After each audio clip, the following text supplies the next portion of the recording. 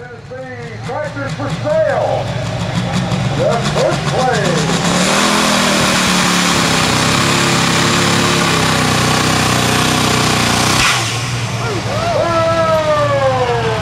Right Most likely